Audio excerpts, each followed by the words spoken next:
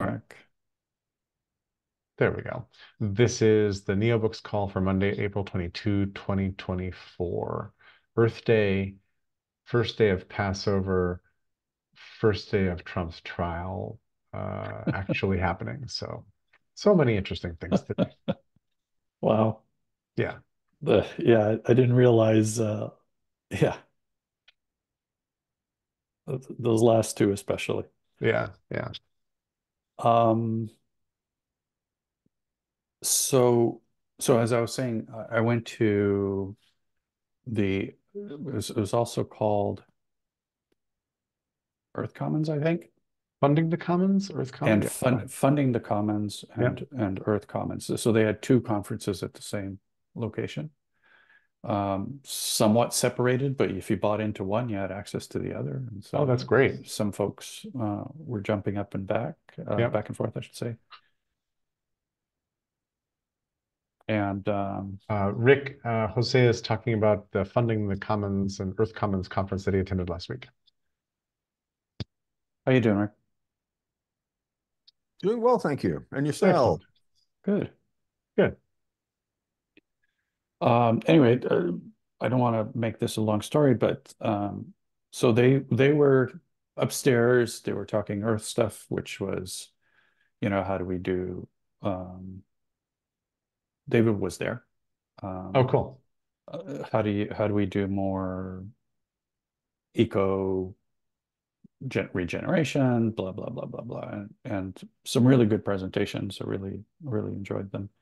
Um, they, on downstairs, they had basically crypto one day and AI the second day. Hmm. Um, and so that was uh, quite interesting. Spoke to a fella from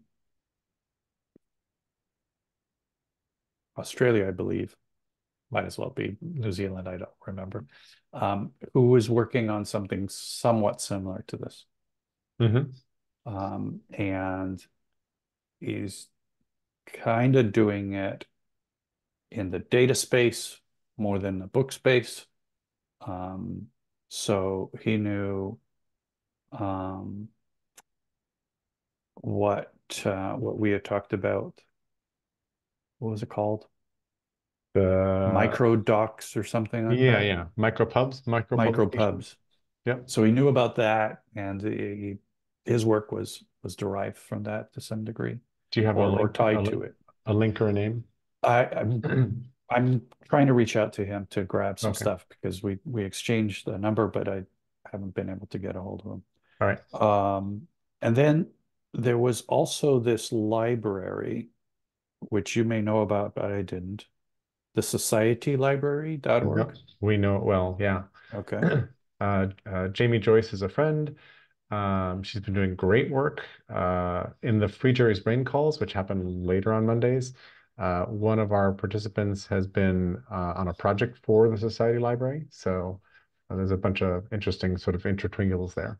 Mm-hmm. Because I saw very much a a connection between certainly the way I was thinking about how nuggets are backed up and supported and having a lineage, if you will, um, of of of topics and and it sounded based on what I saw, it sounded like a very consistent way of thinking about um, having claims and having supporting uh, views and and that kind of stuff. Um, and so at least the way she positioned some of the things that she was working on.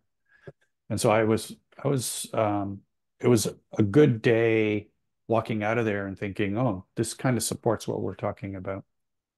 Yes. And um there's there's very nice resonance and I, but i don't know how much overlap between the things that they're focused on and the things that we're trying to do. And, and i think jamie and i were trying to figure out how to make bring that closer uh, Marc Antoine, the fellow I was talking about who's doing work for them, he's working on a project called Claim Miner, which is very specifically about how do you represent claims, assertions, arguments, rebuttals, all that kind of stuff. In a, in I know a, Marc Antoine. Yeah, okay. in a, in a deeply technical way. He goes he goes way deep on this stuff.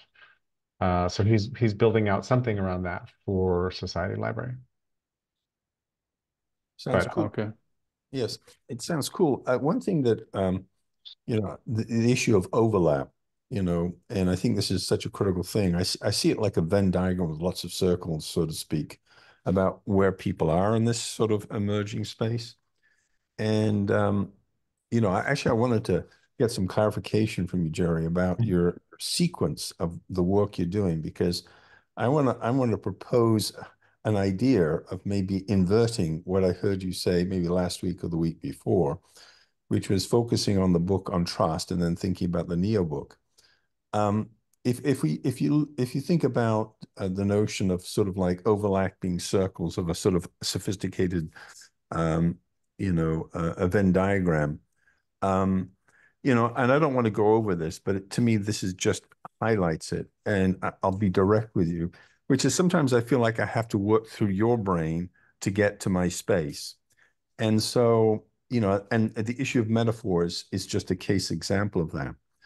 And so for me, it raises a larger issue of what is the governance for developing neobooks?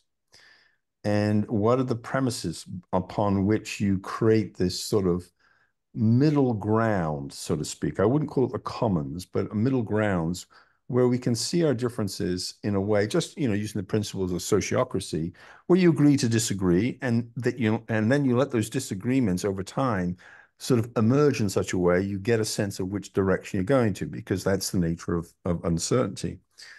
Um, and the reason why I bring that up is because I think with clarity of what the governance of the neobooks are, um, then eh, you know, I would suggest, you know, thinking about the governance, and then people can say, okay, do I can I live with this governance? What, what is it, and do I want to be part of that party? Um, and focus on that, and then think about the trust, because you know we all come with our own mindsets and our own frameworks, and you know that's inevitable. You can't not not have them. Mhm. On the other hand, and the same things with metaphorical perspectives. I just got an email from somebody said, "Oh, I went down your rabbit hole," and I thought, "Whoa, okay, that's very interesting. Use rabbit hole because I'm trying to blow them up, you know." And you know, so people come with a different perspective. So I just kind of, I just sent this message just before this call. I says maybe you should go back and use AI, read the section on metaphors to see whether you get a different perspective or not.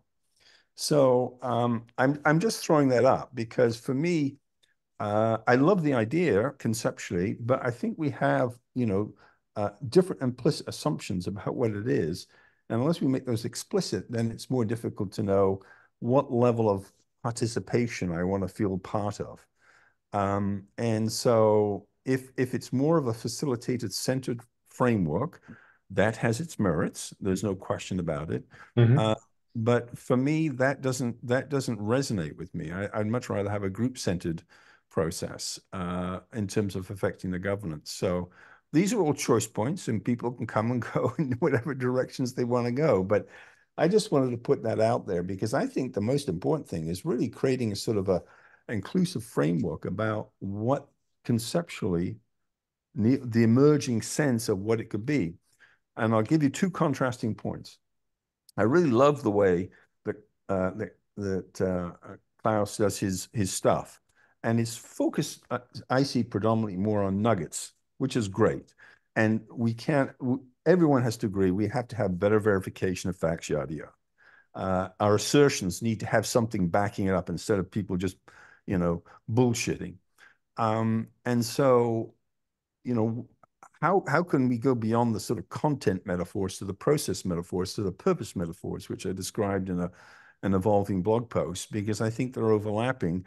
And it's important to be clear about what metaphorical frameworks we're dancing between, because sometimes people just get locked into one metaphor. I'll give you an example. I was just on a call. I just wanted to pop in on Earth Day to hear what um, um, Terry Stein, is it Terry Stein, the, the California was it Stein? What's his name? I'm thinking of blanking on his name. The guy who stood for uh, as a presidential candidate. I'm I'm I'm I'm getting my I'm get, I'm being a bit of a muddle-headed wombat here. But anyway, I just went in there, and he's written a new book about um, the war on climate Hmm. change. You know, I'm thinking, Jesus Christ, can you not get out of that metaphor? I understand you want to win the game, but you know, what about living with nature and harnessing the power of nature? You know, and he and I started listening to it, and they're all into this sort of mindset of winning the game. You know, which uh, you know uh, does in a certain context can be very helpful, but for, for wicked problems, it doesn't cut the mustard. Anyway, there you go. It's part of the problem. yeah, exactly. It's part of the problem. I agree with you. We've got to get out of our reductionist frameworks. And, you know, war and sports metaphors are common metaphors that people live by, and it doesn't help. So there's my rant at the beginning of the session, Jerry. So take it with a pinch of salt. Well, that was a whole bunch of stuff. Um, and thank you for that. I I I think I only half understand what you mean by sometimes I have to work through your brain to get to my space, the thing you said at the at the top of your comments. So I would love for you to explain that in a different way or again, if, if in some way if you can. Um, uh, and I want to agree generally that um, we need to find some way to find a higher level general agreement on what these things are uh, and have enough flexibility in the model that we can represent or achieve these things in different kinds of ways. And we're trying to do that, but it's, it's really kind of hard, uh, you know, because we're kind of inventing this as we go. We're exactly. uh, we're kludging it, um, and then maybe a reason why you have to go. And, and, when you said I have to go through your brain, I I think you mean my external software brain, uh, not my internal brain, but you could have meant the internal brain because that would equally make a sensible sentence out of what you said. Um, but but for me, I'm trying to find other people to play with who have externalized what they believe in in ways that are very webby and decomposed, like my brain happens to be. Mm-hmm. Uh, and and that's the that's a mode of play I really really like. And I gotta say, uh, there aren't that many playmates because very few people are thinking or constructing things that way, and I should take that as a as a as a lesson. Um, but I'm trying to. So when we get down to the level of arguments and support and claims and all that, yes, yes, yes, yes, yes. I don't do that formally, but I have all those like piece parts in in what I what I curate, right? And I'm and I'm thrilled with that. Uh, and for me, nuggets are much smaller than I think they might be for other people. I think I think nuggets are are, are smaller and self-contained. They're not chapters. A chapter is too big. A chapter a chapter of a book for me contains like 50 nuggets. Yeah. Uh, that happen to be strung together into a chapter, and that if you could pull them apart, each of them should have support. And you know, if you were to go like research them or, or look for them, each claim should have uh, its own support and its own, uh, in some sense, independent life. It so happens that somebody has assembled that nugget of, of interesting information uh, into a chain. And then one last thing also, um, partly the, re and I think you said, hey, why don't I or we write the book about what's a neo book as a neo book instead of me first writing uh, Design from Trust as a neobook which is the thing I think I said that I was yeah. interested in doing. That was the sequence I was interested in. And it's partly because I wanted to create something that that had substantive content in it rather than being meta content about the process of trying to write content. So so when I say I want to write about design from trust, that's that's its own lovely topic that I have a lot to say about that I'm trying to string together nuggets and narratives for. Whereas a book about what's a neo book would be totally like self-referential and in a sense, it would be a content, but it would be hard for people to distinguish. Well, this is just content about the people writing the process. This is, you know, I, I feel I fear that that wouldn't prove our point, as well as um, something that has different content in it. So um, that's my attempt to answer like three or three of the twelve questions you just posed, and I might have missed all of them.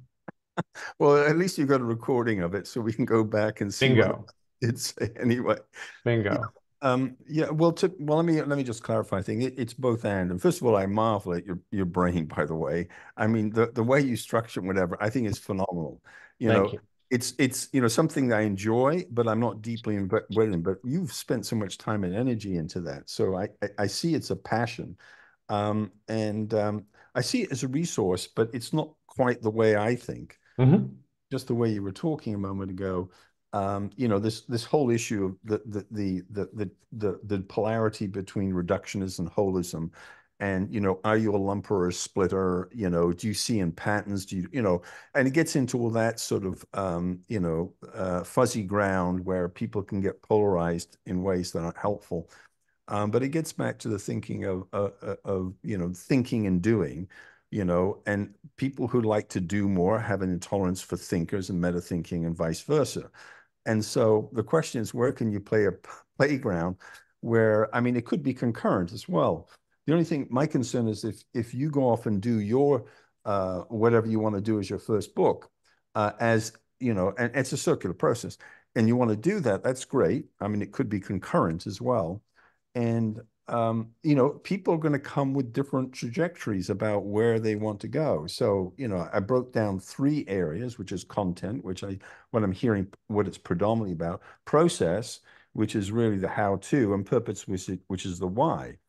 And, you know, that's just Simon Sinek stuff, you know, or any other framework you want to use. But having different perspectives on that and how to orchestrate it. And at the end of the day, I it's my my my preference is if we don't spend enough time looking at the meta governance level or the governance of the book, then you know people are just going to go off in their own you know mansplaining explanatory models and ways of thinking or whatever that may have some overlap and not overlap. And I think that's part of the problem. We've got too many people with their mansplaining and women's splaining frameworks, and we're not spending enough time to really understand what are the similarities and differences. And, you know, and I think it's hard work to try and do that because we get wedded in our own mindsets or worldviews. Um, and I think the beauty is how can you have a diversity of inputs in a way that you can create more of a meta framework that can ground people in different ways, in different trajectories. So for example, one idea is I, I I'd like to see a book where it's co-authored all the time. It's not, you know, a small gr group that, you know, and this is where some of the tech things that you're you're thinking about well, how does it become like a quasi, you know, wiki where there's some some substance, but people can leap in and you know, contribute and add to it. And you have this constant evolving sort of body of understanding and wisdom where people can go in and, and dive into it and say, well, how does how does how does Jerry's brain tick? Or how does Jose's brain tick? And what can I learn from their differences mm-hmm. or similarities? If that gets the gist of uh, does that this is just a you know only a quick response to your reactions.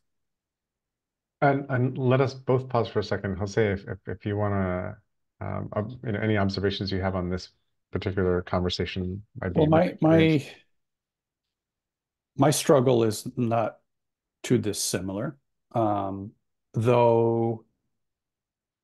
I think it's less about governance level questions, though I, I think that's a big concern. Uh, it's it for me. It's more of a um, a, a, a way to map what we're talking about because I think I think we've been thinking about this from the top down and not so much from the bottom up. And by the top down, I mean we want a book and it has nuggets and you know it's written in this form and it's written in that form and then it's this and it's and I think we really in my mind we really need to wrap our heads around how we do this from the most composable element which is in your terms nugget and that that element has a protocol around it and that that element can be composed with other elements that have slightly different ways of being themselves. Um, that that a an element that says I'm uh, a narrative, and here is the claim, and here is whatever. That those elements are really the the starting point, and I think we could do that with sheets of paper. Uh, you know, like just literally cut a little piece of paper and say, okay, I'm the narrative, I'm the claim, I'm the this, I'm the that. Okay, how does this compose? Okay, fine. Now we've got this thing. Now, how do we move that into something digital? How do we move that into something that is a platform? How do we move that into a an idea that goes beyond having a bunch of people writing on a wiki to a a set of protocols that provide us with the wherewithal to make this a thing. Mhm. Because I think the thing isn't the book. I think the thing isn't how we end up putting them all together. I think the thing is the fact that it can be anything. It could be Well, the images. fact, It the could fact that be it has a multiplicity of shapes and yet still kind of an essence, maybe. I mean, if it can be anything, it's just confusing and nobody's going to want to use it because it's like, oh my God, this thing, this thing could be anything. right. But but what I mean is if the protocol allows for it to be anything, then somebody says, okay, this is the one thing that I like. Somebody says, no, this is the other thing I like, and this is the other thing I like. Great. It has to end up being things, but it's not prescriptive from the beginning. And Right. what I'm hearing is kind of we're prescriptive from the beginning. It's a book, and it's, it's this and it's that and it's that, and then it happens to have nuggets in it. So kind of, I'm not sure I agree with that. Uh, in the sense of there's an there's a description, there's a there's a rough impressionistic painting of this project, which is like, hey, people know what books are. Let's use books as bait. But really, the interesting thing is these living, documenty, wiki-like nuggets where there's community and there's riffing and there and then and then people can take any shiny nugget and make something different out of it, which is great because that's exactly what we want. We want people engaged and thinking together. Awesome.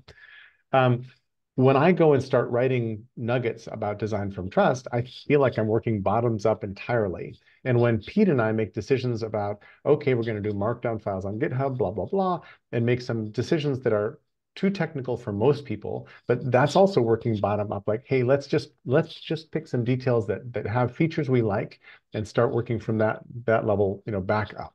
So it doesn't feel like this is all top down. It feels like the top down is a painting for what the environment maybe feels like and what our goals are. Now, separately, in calls mid-pandemic, we spent six months working on something I call the Generative Commons Agreement, which I've mentioned here before. And we were trying to come up with like, you know, when we're working together in a wiki-like um, uh, attitude or approach or intention, what are the ground rules? Who owns the IP? How does this all work out? How do we know when we're bought in? What do we know? Uh, you know, all those kinds of things. And we spent a good amount of time working on this and never came up with a finished uh, generative commons agreement. I believe I own generativecommons.org or something like that because we thought once we publish it, we can just put it up someplace. And then the footer at the bottom of my Neo book would say, uh, this is a CC0 and, and, and under the generative commons agreement with a link to what that is. Boom, shaboom, all of a sudden, some of the, the things that Rick is looking for would exist. My experience, though, was we spent a lot of time in really great conversations trying to sort of invent something that would work and didn't get there. And that's a that's a big time suck. So I'm trying to figure out in the middle of all these things that I think are all necessary, with none of us being paid a salary to do this, how do we cut our path to the best, quickest illustration of what a Neo book, what what what the benefits of Neo books could actually be to anybody or to society? What, what how do we get to a payoff? Uh, feeling from anybody participating or or going and stumbling across this project. What I mean by top down Yeah. is that I think everybody working on this project, at least my impression of it, is saying, I'm working on my book. Right. Right. And and not here's a nugget. And here's how that nugget, this, da, da, da, da, da, da, whatever that definition of this nugget, how this nugget interplays with this other nugget, how this thing works. I would love to start from there as well. And, That's what I mean by, right? Because we're we're, So- writing a book. so the one I'm using, I'm my I unfortunately have two big priority projects for me at this point that have to trump some efforts. But the third one in my in my list is this video or something explaining uh, Neo books. And the example I'm using is as the the nugget uh, called assume good intent. And that is a lovely concrete way, way to start. It is a principle for open source software. It is an operating principle for Wikipedia. It is one of the principles of something I call design from trust, which is why I care about it in my design from trust book. So I'm like, that is great. That that's like that that that's a very concrete place we can start. And I and I, I haven't sort of talked about this much because I'm busy trying to figure out how does this fit? What what's the narrative? What what do I go on? But I'd be very happy to work on that together and to play that out in, in whatever ways you think organically that would that would lead to some roots and shoots uh, kind of coming out and connecting to other things. I think that'd be awesome. And and if you wanted to suggest an alternate starting point, no, I, I think that's a great place to start. I'm all in. But but that to me is a very it's concrete, it's important, and I know already it plays a big role in several different big narratives. And there there are people who could contradict it and have opposing arguments and say, no, no, no, the world is a dangerous uh, place. Nobody can be trusted. So you can't assume good intent. And then there's a whole conversation there, which is like, okay, great. We could we could even model that, present evidence, all the stuff that you're you're thinking about. If I could just chime in on the discrepancy in your perceptions about top down or bottom up, to me, yes. it's interesting to to to listen to that. But I mean, to to to go back to uh, Jose's point, I mean, I'm thinking about an ecological perspective, and each person's going to have different areas where they're going to have a propensity about whether it's meta, macro, meso, micro, nano, or whatever, you know. So, you know, to me, it's it's it's it's just an overarching framework. And um, let me just clarify where I'm coming. I feel like I've been working on primary care all my life, and I've been working at the micro level all the time. And I'm saying, this sucks you know, the reason why we don't, we don't have effective meta governance. So we do have to go up to the level. Now, people will have different areas where they want to invest their time because they're driven by some of their life issues where they felt it. My, my, my concern about focusing on nuggets is that in a post-truth world, nuggets don't matter. You can have the best integrity of information it doesn't matter very much because the process sucks because nobody believes facts anymore. So unless you deal with the process of why people cannot incorporate nuggets, then you know you can have a lot more rational content to provide to people, but it's water off a duck's back when somebody is locked into their uh, you know um, amygdala limbic brain because they're driven by emotions and not rational feelings, which is where most of America is at the moment. And then you have to go to the purpose. So, you know, I understand the grounding, I understand the importance of it, but if one doesn't have an eye on the, the different domains where people may want to play and thinking about, well, how can you integrate these things in a sort of ecological way? And if you don't have that framework, but I, I would still come back to your, your, your, um, your document that I wouldn't say that was lost, what you were describing. I'd like to look at what you came up with because that to me is a little bit of the substrate of the governance issues.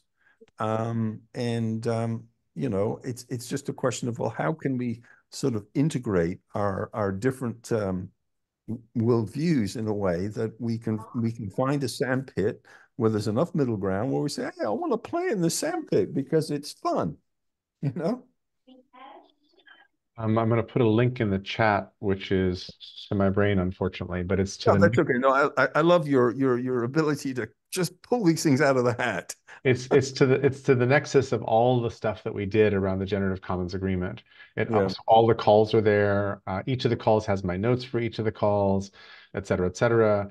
Uh, we did we we went for it for a while. We you know spent a, a good hunk of time on that. Did you did uh, you did you actually synthesize it into a sort of executive white paper thing, or is it just a a, a, a sort of a, a, compendium of work that hasn't been synthesized? I don't think it's been properly synthesized. No, I think that that we had we we kicked around a bunch of important issues. We did a little bit of work on it, but we didn't we didn't collaboratively edit a document that we were even half uh, half happy with. Yeah. Uh, which would be great. That would be great to have. But the, uh, the techies, which are the best AI tools to take that body of work and at least give a first draft of of. So a uh, very interesting thing would be to take the transcripts of all the calls we had, yeah. and then a couple other documents that we have with intentions, feed it all as a corpus, and then say, hey, would you come up with a generative commons agreement? That's a great idea. Yeah, simple. Yeah, I mean, why not use the technology? Yeah. At least give you the draft, and then you can pull it apart. And you know, you know, I I, I personally am having a whale of a time on uh, using AI stuff just for bound asking questions, pushing the limits of the questions you can ask. And it's sort of like, to me, it's more of like a, you know, a research assistant that moves. And I, I'm finding it generates, it, it, it, it enhances my ability to sort of bounce ideas or contradict things or whatever. So I, I, I think, you know, the whole process of an ebook is how to help people become more sophisticated in how they use AI. You know, because I, I'm interested in, in the whole notion of of human AI synergies. Me too, big I time. mean, that to me, that is the that's the gold rush. That's what we should be doing too.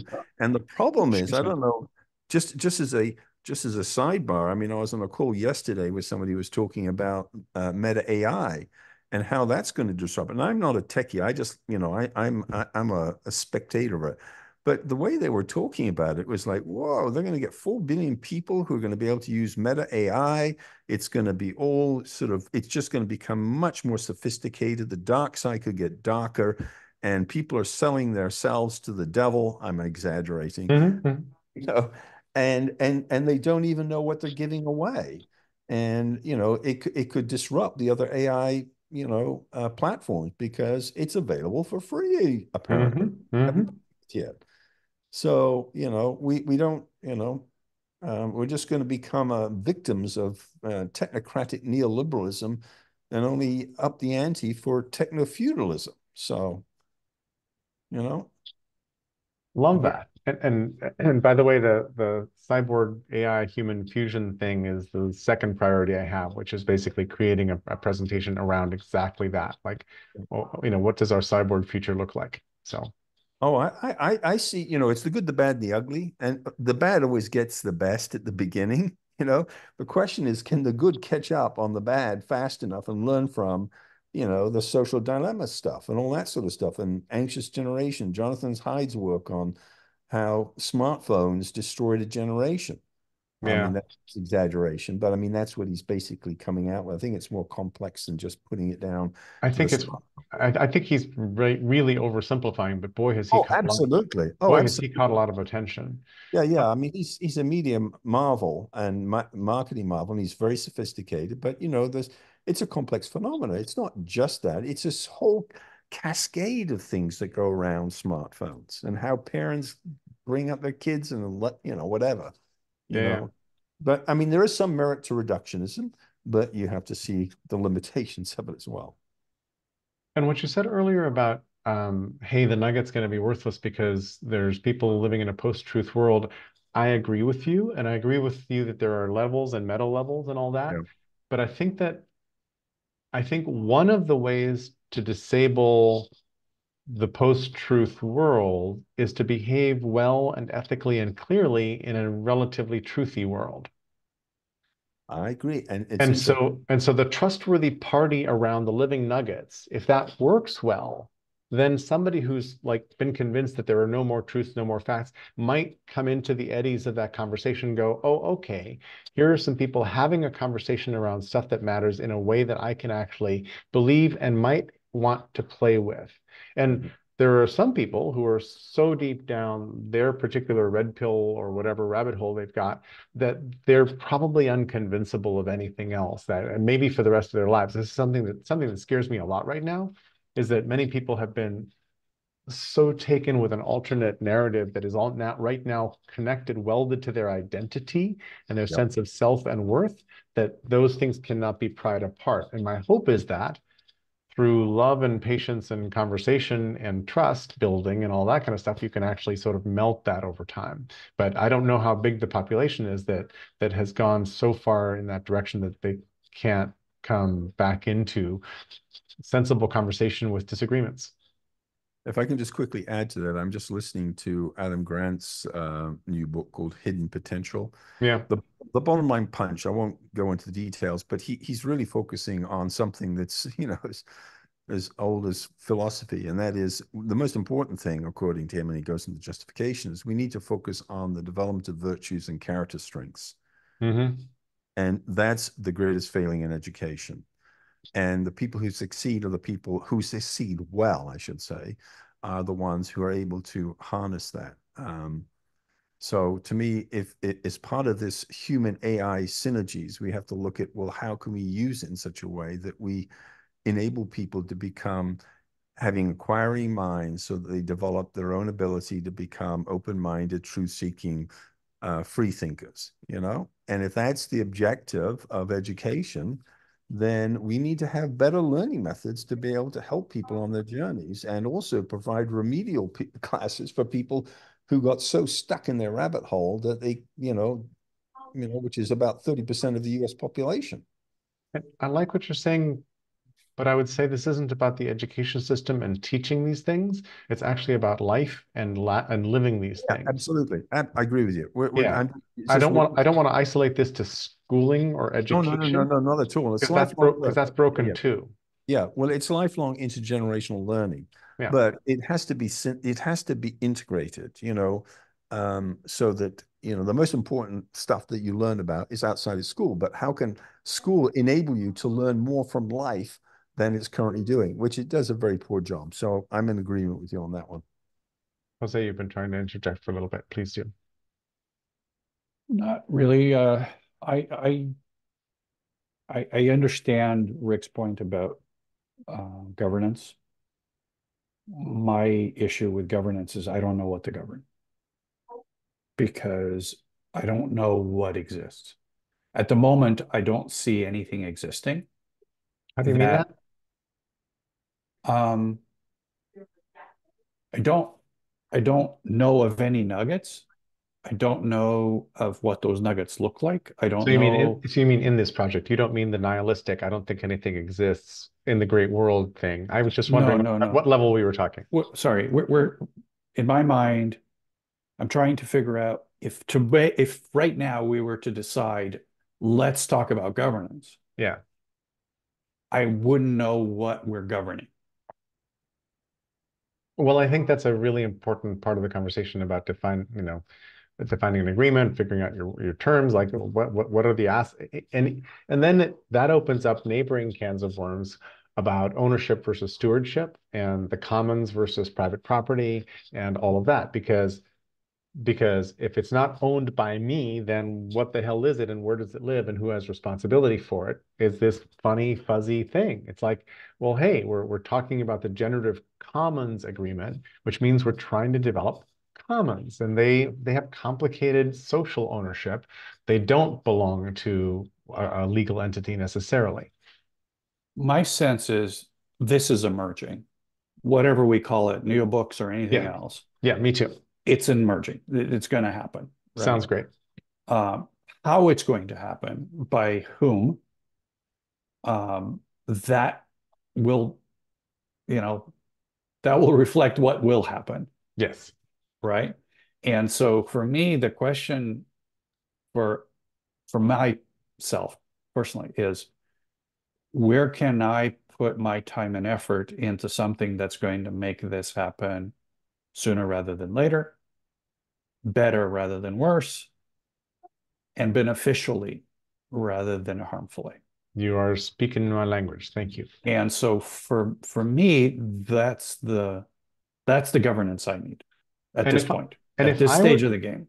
And if I were to find a different project that was doing exactly what you just said better than we are, I'd be like, let's stop having these calls and let's go join their their calls. So uh, there are projects that have pieces of the puzzle that they seem to be chewing on that seem complementary to what we're up to. But I'm trying to figure out how, like, where where is this happening and how is it how is it going to find its way into the world? Because I agree with you that this is this is emerging. Yeah. And and I don't think there is an answer. Anybody has a, any of the answers. Collectively has the answers, right? I think people are coming at it from different perspectives and aiming at the same center. But what they're doing stops way short of the center. Yes, and and I'll, I'll just say, Rick, I'll pass it to you in just a sec.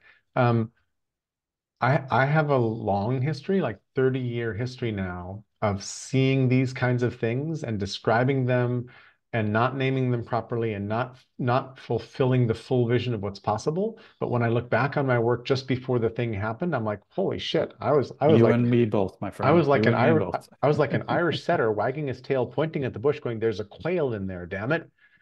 And and I I was just calling it a crocodile, but it's a quail, right? Um, and and so since we have these good instincts, and I think we're really interested in manifesting this in a way where, hey, wouldn't it be cool if our efforts to do this are the ones that catch on? How do we do that?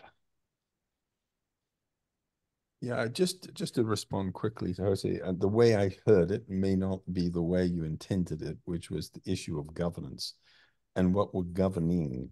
And I think we have to deconstruct what we mean by governance because everyone comes with different, you know, you know what that means.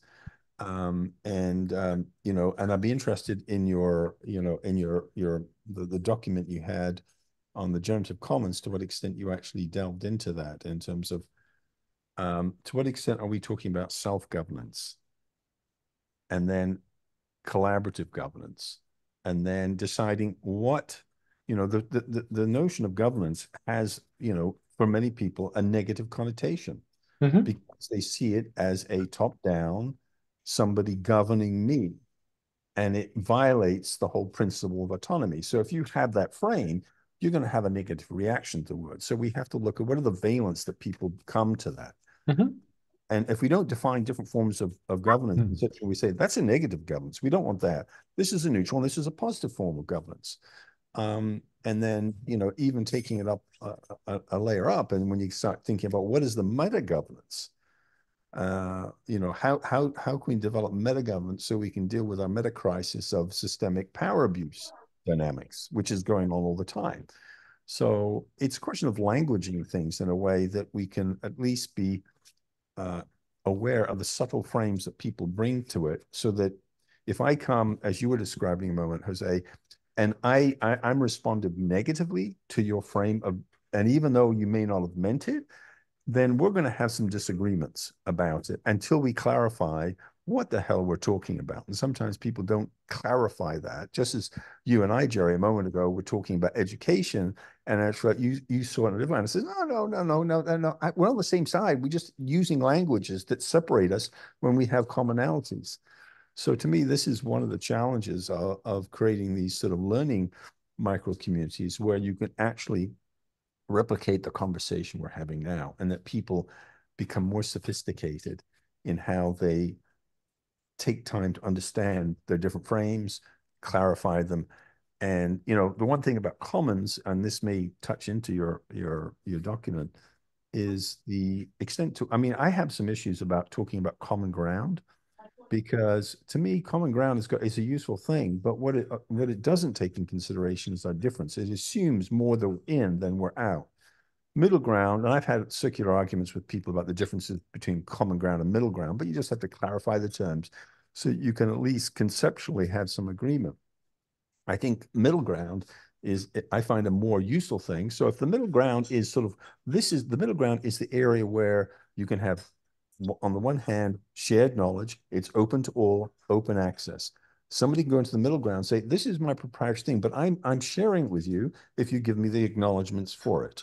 And then the people outside of that saying, I'm going to write off my book and try and make, you know, as much money as I can out of my book. And if you want to, you know, you can certainly access it. So I don't know what level of nuance your, you know, generative commons got into in, in addressing those issues. Speaking of which, it might be useful to add this conversation to the body of work that you did to see what, what it comes up with. Mm -hmm. Yeah, exactly. Um, also, in February of this year, I had I I created four separate calls. Uh, you guys were aware of them, and I think I think we're on a couple of them. Yeah, um, all about what do we mean by governance and what's working in governance. And they, eh, I don't know that we made that much progress on them. Um, I love the topic of governance, and I think it, it, it you know it needs to come from self governance, but we need to figure out how to do shit together. Yeah. Right. And and and um, I we had trouble with the word governance. Interesting. Uh, one of those. Jose in particular had lots of trouble with the word governance well, because well, it know, seemed to be about power. Well, it depends on what type of power. Is it power sharing, power over, power with? And unless you clarify those things, there's another group that I've just joined, which you may already know about, called MetaGov, mm-hmm. and it's it's it's an academic group of people. Who, and I've been going to some of their sessions, and it's mm-hmm. it's fascinating um, and um, you know they're you know published papers are very you know and I, I can understand about half of what they're talking about because some of yeah. this I, I, get lost but i'm getting the gist of what they're talking about um, but you know just because the the the um, the the initiative was a failure doesn't mean to say that there isn't something that can be learned from it and why did it fail that's to me the more important question. Why did, why isn't able to emerge something where, um, you know, uh, Jose left feeling it was a waste of time. So why was it a waste of time? We got to understand our differences to be able to say, why was it a waste of time? Yeah, that's not the words I would use necessarily, but um, but yeah, I, I think your point. You're Right. muted, Rick. No, I, w- I, you just, I was just embellishing a little bit, that's Mhm. all. Yeah. Just- Yeah, yeah, yeah. No, understood. Uh, I think the conversation around governance is an obvious, important conversation. It isn't personally where I would start. Um, I think until I know what we've got to govern, until I know what we have that wants to be built or not be built, um, I don't know what my role is and my interest in it is and my ability to participate or not participate or interest in in doing so. I think that when we build new technologies, um, and this is more for you, Jerry, all too often we carry our, our technological baggage with us. And so we end up trying to do something new with old. Right. And I think this is a situation where we have to build something new with new. And How, how new? Because there isn't, when I look around, there's not much that shows up as actually new.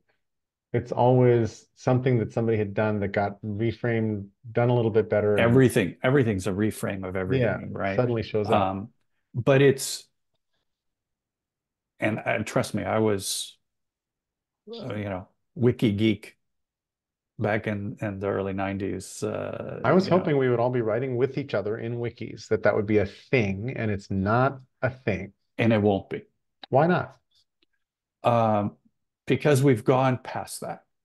I'm There not sure- may I'm- have been- I'm not sure we've gone past it. Pete's thesis is that it's too difficult for people, that people aren't that skilled. I think it's both that and and we've gone past it because it never kept with the style of reading and writing that has evolved over the last 20, 30 years. You mean TikTok? Um, TikTok, I think TikTok is a symptom, um, is a symptom of something, but it's not the end state of how. I'm not saying it's the end happen. state, but it, I I think everything is a movement. Yeah, and we've calcified wikis in a state. And and for the most part, wikis haven't really moved beyond that state. right. And and I think that, you know, I look at my 20-something stepdaughters and I say, well, there's a wiki there. They go, yeah, okay. And they roll their eyes because, you know, they all had them in school and they all hated them and they were useless. And they it was just a place for them to go fight about something and whatever. And then they moved on, Hmm. right? And it's like, oh, I remember that wiki that the teacher had. And I remember that wiki that we had that project in. And Yeah, yeah. you know, there there isn't any goodness in wikis for anybody under the age of 30. Um, I mean, th they value Wikipedia just as the rest of the world does, but they don't value the wiki, Right, right. right? What do they value for collaboration? Uh, instance, just just being able to do something instantaneously. It emerges, they do it, it happens, it's done, it's good. Now, does it have longevity? Yes, it does. Okay, great. Now we can search, we can find it, we can reuse it. It's it. There is no like even the document writing and and uh, Google Docs. For them, it's like I see my stepdaughter like create a document every 30 seconds, it feels like, Mm-hmm. right? She spin one up, write something, spin another one up, write something. It's like, mm-hmm. whoa, like what the hell's going on here? Now, Google Docs obviously doesn't do any instant linking. It doesn't create any graphs. It doesn't do any of that stuff. Right. But I think that's closer to the world that we need to create this new type of technology for. I think we want to create nuggets for that kind of mentality that instantly provides for the ability to go deep not because they will go deep instantly, but because the linking and the and the depth that is possible will be a small percentage of the stuff that's created rather than you know every single piece of thing has to be done that way. And if we write at the technology level if we think that everything's going to be deep and a book that's why I was kind of using the word meme for a little bit there when we were talking about this some Yeah. time ago.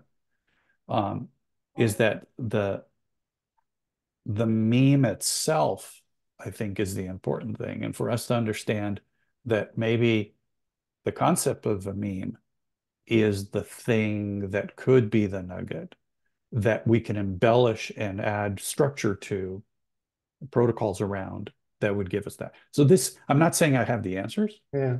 I'm just, to me, exploring that is has more legs at this stage of the game.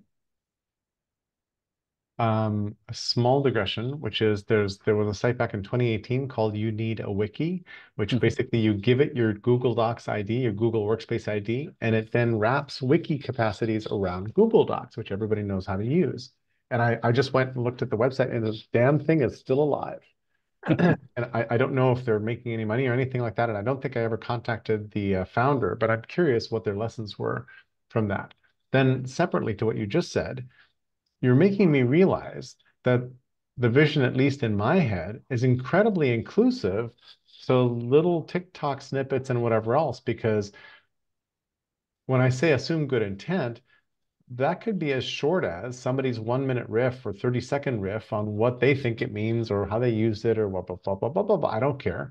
And that would fit very nicely into this constellation of nuggets wired together to each other for different contexts and different media, et cetera, et cetera, et cetera. Part of what I'm saying is, I think part of what I think I'm saying, which isn't explicit, is I don't think long form media are dead. And I don't think that we're just gradually evolving to like wall-e type people with with shrunken skeletons from idiot and idiocracy type idiots who don't care about facts or anything like that. I don't think humanity is sort of inevitably being dragged downhill into that world. I think that we haven't figured out how to think together well yet. And and we're and, and our media are stuck in old school metaphors of what media meant to look like. Kind of a riff on what you just said about how we bring our baggage, our, our you know, the old school baggage along. And what I'm trying to figure out is what does a creative space within which we can reinvent how we think together look like? Borrowing from, but not being wedded to older things like wiki technology and so forth, but now go, riffing and going somewhere new. And that's why I invited uh, Rich Burdon to come in uh, a couple weeks ago and explain his uh, uh, composer software, which he did in a in a Free Jerry's Brain call. I think I don't think it was in in the NeoBooks call, but he basically demoed a platform he's been working on for years. He has funding for this thing. Um, oh, it was a Free Jerry's Brain call because then um, one of our members in Free Jerry's Brain was like, "Yeah, but." it's doing this thing to links so they're not really permanent links and he just bag he just like trashed it and i'm like no wait a minute wait a minute there's something really valuable here because it had all the benefits of wiki-ness which is collaboration version control all that kind of stuff without pushing crap to github et cetera et cetera. And it, it was on a platform of distributed objects it did a bunch of really really cool stuff. I'll, I'll put a link to that call in the chat uh, and in the notes. Um, because I I was like, well, okay, if we like this, why don't we run with this? And Pete and I started building a couple documents on the platform, but we never made it a bigger practice, and we haven't really gone back to it. Um, so, I guess partly what I'm saying is there are a bunch of experiments with what this thing might look like and where it could go that are brand spanking new. You know, Rich's platform is barely barely open to the public. He just just launched it, right? I have no idea where it's going to go. And any investment in a platform means you're not investing in other platforms, or you you might get stuck down the road. We're all very all too familiar with that. um, but I'm weirdly, after all of this, optimistic that we can find our way there. And I feel like I've been pecking this thing to death uh, in all, all you know all sorts of different ways, with a little bit of progress on all fronts, and no big progress on any one front where I can be like this thing over here. And it's frustrating. I can just chime in, Jose, on something you said about, um, you know, your your uh, stepdaughters and how they're using it. Now, I'm, I'm extrapolating, and I'm sure this is not the case, but uh, you know, I see this in my grandson a little bit, which is, you know, you, you can go into the AD, ADD world of superficial games, sucks your attention, and the objective of the governance of that system is to buy is to keep your attention for nefarious purposes. That's not good governance. On the flip side of that is, well, how can you actually create things along what we were talking about earlier, Jerry, about well, how can we how can we actually uh, create inquiring minds so that people are, are basically, you know, in charge of, of, of, of deciding what they want to learn and what outcomes they want to learn, with whom they want to do it, how they want to do it, and have an enjoyable time doing it. Um, and I mean, this is something that you know Jonathan Haidt talks about, and other people have as well, which is you know boys who are being educated uh, or miseducated, I should say, uh, on the superficiality of games get sucked into that rabbit hole and come out, you know, socially inept and lack drive because they're just, you know, playing games all the time. So, you know, that again comes back to the good, bad, the ugly. So how can we harness in such a way that people are, you know, using effectively in a proactive way that they're governing their own destiny in collaboration with other without being, you know, uh, taken in by Meta AI or by spinmeisters or whatever, whatever. Um, a couple things. Uh, we didn't record the call with Rich on purpose because he was just launching and he said, I don't really want this out. Um, but he, you can go to composer.dxos.org and you can build a document. You don't really need a, to be verified with an ID. You'll just sort of, you'll just sort of ha have capacities in using the platform. And I can share with you a couple documents that you know Pete and I created or something like that. They're not, nothing nothing very fancy, but it's a full singing, full dancing platform within which third parties could write more sophisticated plugins. Basically, he called them frames that would live on the platform. So you could imagine a brain frame. In fact, the whole platform was originally called Brain Frame, uh, F R A M E, uh, uh B R A N E frame, I think uh, because he envisioned that somebody would do a mind mapping plugin for this whole thing, where the nodes in the mind map would be useful as objects for any other plugin. If that makes sense. Hmm. Um, I just want to go back to yeah. thank you for that, and and I would like it if you could share some of your docs. I'd appreciate that. Um, Rick, I I agree that making people dumber is not the objective here, right? That that and and I'm not suggesting that people who are you know mindlessly stuck on games or mindlessly stuck on social media are are the people that we're you know that we need to cater to or or that we need to to um to serve that bad behavior to, for lack of a better word. Um what I do think is that as technology has become easier, that the human mind's desire for simplicity gets served very well. And that the idea of reading a 300 page book and trying to wrap your head around that 300 pages is as we see by the evidence of of the number of books that actually get read fully, um, is is actually not great, right?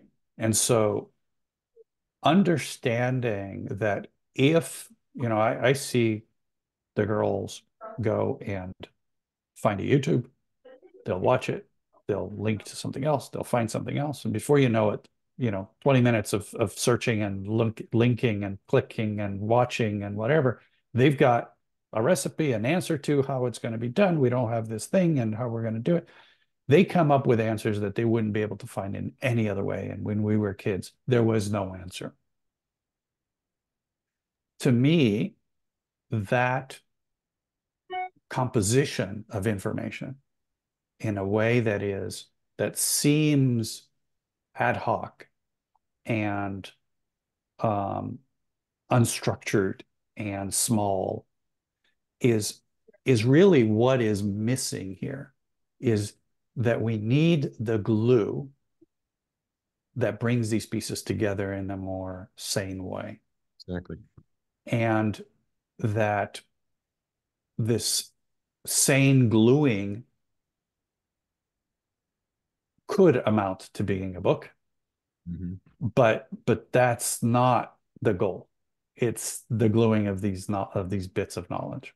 A piece of what I hear you saying, Jose, is that for some people, maybe, and maybe this is a really large segment of the population, there will not be any permanent web of knowledge. There will not be any matrix of fixed things that they rely on, even like Wikipedia, but rather everything will be evanescent. Everything will be a search of the instant for a small solution to a local question, and that'll be perfectly fine. I think that when Google started to build their data set, they thought they were building the world's biggest database that everybody could just go in there and find. Right. And then they realized, oops, that's not really what we're building. We're we're building relationships between things. We're not building a data set. We're building a relational graph. Well, there's the knowledge graph, and the guy who invented the technology they bought is Danny Hillis, um, who regrets that they bought it and privatized it and has a different project to try to create an open graph again, right? Which is, I don't see it making a lot of progress, but I had a conversation with him mid-pandemic about about this. Um, but but but but I think you're saying that there might not be maybe there's maybe the graph is behind the curtain and is needed so that you can find the right little shiny nugget at any at any time. Is that what you're saying? Yeah. But but we're not going to see the graph. Build, not, if we build things with the graph in mind, then we have a as as producers, then we have a better chance that the stuff we offer has built into it directional vectors to the stuff that's important, rather than it being a, a nugget that that the presenter, Google, gets to choose who, what the next link is, rather than the author. So if I give you a nugget that all the content is just whatever I wrote in there, or whatever video I created, or whatever image I produced, and Google gets to present that to you, you look at it and you go, well, where do I go next? And Google says, well, here's a link, and here's a link, and here's a link, and here's a link. And the message that I was trying to, to provide is lost. For sure. But if I can say, here's a nugget that I've just given you, and from this nugget, here's a bunch of links. That's the goal. That to me, we're we're in the world of fragmented data, but building into it some meta structure graph that is built into the data itself and that that data then is open. Not only that i was able to disseminate it but that mm-hmm. other people can actually get access to it and and add to that graph. I feel i should just just for grins mention the big fungus idea here because that that's what that's what i'm hoping the big fungus is sort of like. It's like there are lots of people metabolizing information sending shoots out toward each other connecting it up loosely organically sometimes in more in more bigger clusters of nutrients. Um, sometimes the shoots come up above the soil and turn into mushrooms, and you can harvest those and eat them, and that's what a, a media object would look like. But the interesting thing is happening underground with all these little connections, and it's messy, evanescent, uh, shifty over time. I don't know, mm-hmm. something like that. But that that's so yes, the goal of using that metaphor. Hmm just to, to, to chime in here a little bit, uh, what you just described about the functional aspects of it, and you know the whole notion of having to go through a 300 page book. I mean, I think people knowing that most people don't read their books, you know, what is the other ways of getting people involved in such a way that they want to, you know, and it depends upon the type of book, whether it's a novel or whether it's fiction or whatever. And if they want to dive into something, particularly if it's nonfiction, um, you know, they want to go to the information that they most need as quickly as possible without having to read the whole book. Um, so, I mean, I think one has to you know, clarify the, the, the content area um, that people are focusing on. So, I mean, I thought it was a good example of, yeah, that's, that's highly functional. Uh, there's things that are non-functional. There are things that over time are highly dysfunctional. So there are huge fan bases for Game of Thrones, uh, Oh, Lost, uh, what have you. Like me, people eat very, very long media and have no problem piecing together the plot, the connections, coming back and doing analysis on it. Like, like it's not that people are late, too lazy to read a 300 page book. There, Mm. that energy has gone maybe to other media. Um, and maybe maybe the book is just obsolete, which is a thing I don't believe quite yet. Um, but it's not that people are too lazy to understand very big, complicated, like Russian novel plots Mhm. and, and have insights about them. Yeah. But they'll do it sometimes about the most, like the Kardashian clan. I'm pretty sure you can find a bunch of people who have never read a book, but could tell you down to jot and tittle, like what each member of the Kardashian clan has done, eaten, bought, uh, who they've they've slept with, whatever else it is, um, to a degree that would be astonishing. Yeah, it's a world of trivia. But you know, if people thrive on trivia, that's great. I mean, it's but Well, I think I think our collective shared goal here is to drag people out of the world of of doing that for things that are meaningless or evanescent in evanescent and meaningless, back into a world of, hey, if you use that same set of skills on stuff that matters to you and your community, you could actually make life better for everybody. exactly. Same set of skills. The skills are there. That, this is something I'm actually firmly convinced of. That the skills we're worried about are actually there.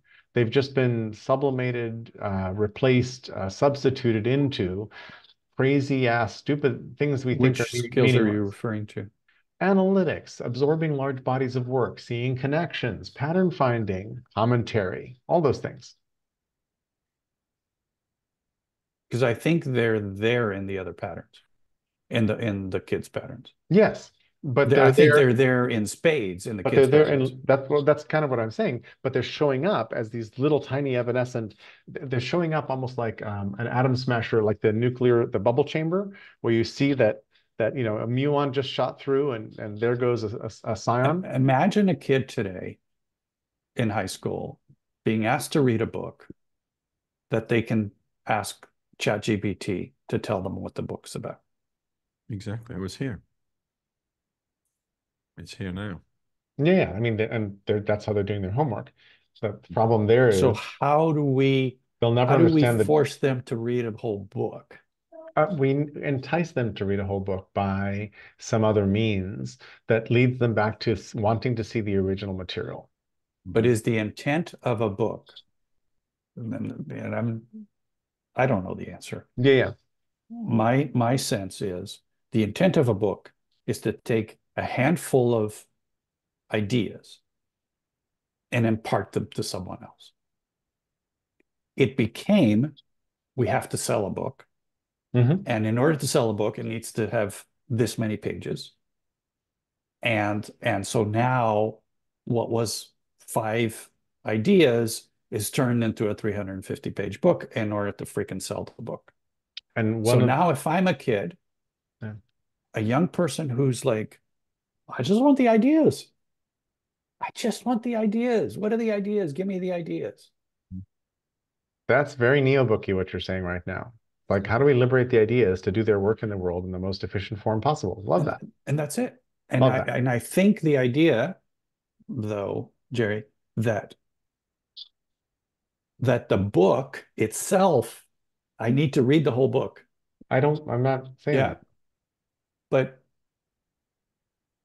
but like if we're trying to keep the same old patterns of book reading and you know people long form and da da da da da, it makes the assumption that that's what it is that that we have to do that. No. Um, books are a convenient cultural artifact that lets us have some kind of anchor in the world of history and what happened that we don't need to worry about how they're produced. I'm, I would rather liberate the ideas in a book and then figure out who wants to use subsets of them to make arguments for different things in the world? That'd be great. You know, if you want to read Jonathan Haidt about the anxious generation, he points to research, da, da, da, he makes a bunch of arguments, some of which I would agree with, and some of which I think I really disagree with. Mhm. Awesome. I want to be able to have those conversations. And I want to make those conversations handy so that when parents are sitting over dinner with their neighbor friends, and they're all talking about what to do about the kids in their media, they have something to draw on that is compelling and useful. That that's a context I really care about. You know, I just just what you just triggered for me, Jerry, was uh, was the whole notion of well, as as it takes a while, even as a parent, to curate the sort of things that you think would be really useful for your kids. You know, if it, it, it is here, but do you know of any resource that actually guides parents on the effective use of social media along the lines that we're talking about? Is there There are a You know. bunch of really good efforts on um, Yes, there's a bunch of efforts that have gotten um, really good. Let's see if I can get toward it. Um, let me find stuff and send you a, a note, but helpful because you know i Yeah. mean it, it applies to so many other things it's like you know if kids want to learn math they want to learn how to play chess the one thing that actually came out of the book uh, a very interesting example which was sort of um, there's a story in the book that uh, by adam grant where they had sort of ivy league schools uh, you may have heard this story ivy league schools competing for the best chess team and there was this Jamaican um, chess master who worked with kids from Brook, Brooklyn, and these are kids who took up the game late. You know, these uh, you know preppy kids. You know, start from the age of five. So so, and he started training these uh, you know young teens on how to play chess. And the strategy was fascinating because where he, where he started off was not how to play it, but he started teaching them about the end game. So, in other words, you know, when you start a game, you don't know what the end game is. And, you know, just with my grandson, I'm thinking, you know, I'm trying to cheat him how to play chess. But do we ever finish a game? Well, sometimes we do, sometimes we don't. You know, it's Mhm. kind of, but the interesting part is the end game. That's what you're getting to. So he started training them on end game with set pieces to know how to make chessmate, you know, Cool. checkmate. Uh, anyway, he took this team, and it's such an remarkable story that should be made into a movie, actually. And he took this, you know, you know, this, this, this, th these uh, young kids from Brooklyn, black kids from Brooklyn, and they won the tournament. And it was just mind blowing. I mean, just There is a movie about that, by the way. is there really? Oh, good. I'm glad that there is. What's It's the a Hispanic teacher, so I don't know if it's the same thing, but it's black kids and they are all actually uh, still involved in the community. Yeah, I'd love to know the name of that one because I'd like to. I'd like to share with my. I, I was I was listening into the car and I was uh, my grandson became interested, so we started chatting about it, and I thought this is a movie. I don't know if you can. Uh, Jerry's wizardry. Hopefully, we'll be able to find that movie for us. I was just looking at some of the stuff that I've got, but uh, Checkmate, The Black Schoolboy. No, that's about one. No, critical thinking. Critical Thinking. Oh, is that the name of the? That's the name of the movie.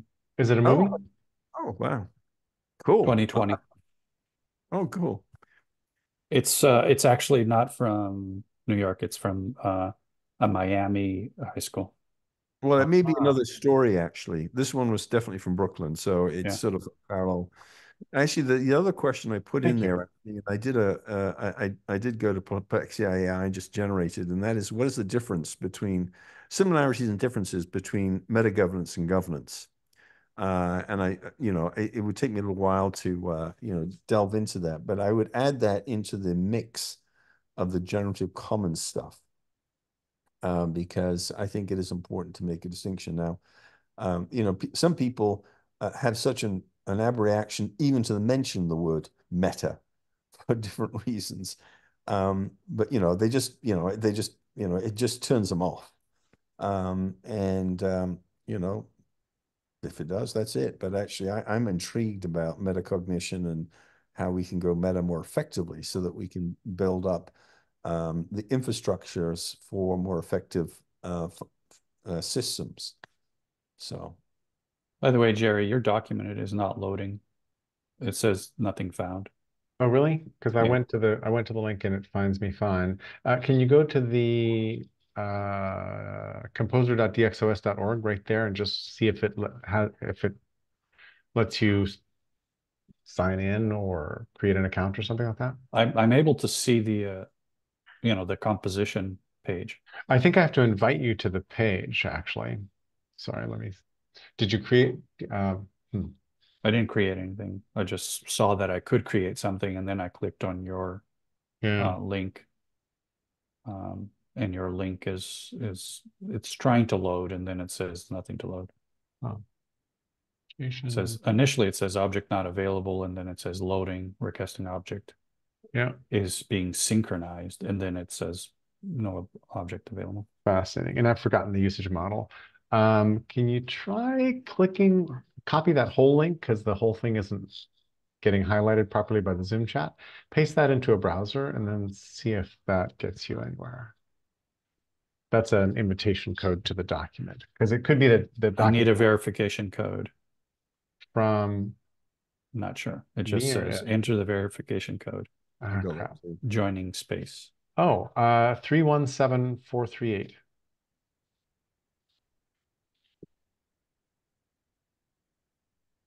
Yep, you're in.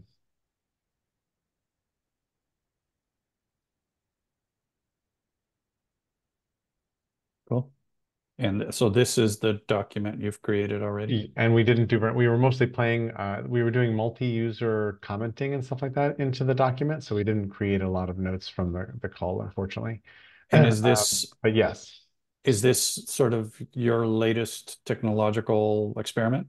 This platform is Rich Burdon's latest Yeah. technological experiment. Yes, and, and But was your use of it as an experiment. of it. Yes, it was a platform I had a lot of hope for in what we're trying to get done, but unless several of us start using it, um, it's not going to make that much sense. And I think Burden would be very happy to have us use it. So what was the last three digits? Oops. Um, I uh, I generated an invite for just one person, so you're going to need a new invite. That's why I Uh, couldn't. Which yeah, I, I, I it, it lets you invite one person or several. So try this one, and then uh, the number is yeah. Try that, and then tell me when you're looking at the prompt. All right, I'm at the prompt now. Uh, good. Huh. On the last one, it turned into a number to tell you. Are you getting a little dialogue that says, "Hey, tell me what the code is"?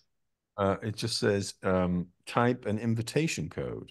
That's why should I be getting a type an invitation code into it? Because for the last thing we just did, I this my little prompt here turned into an invitation code code.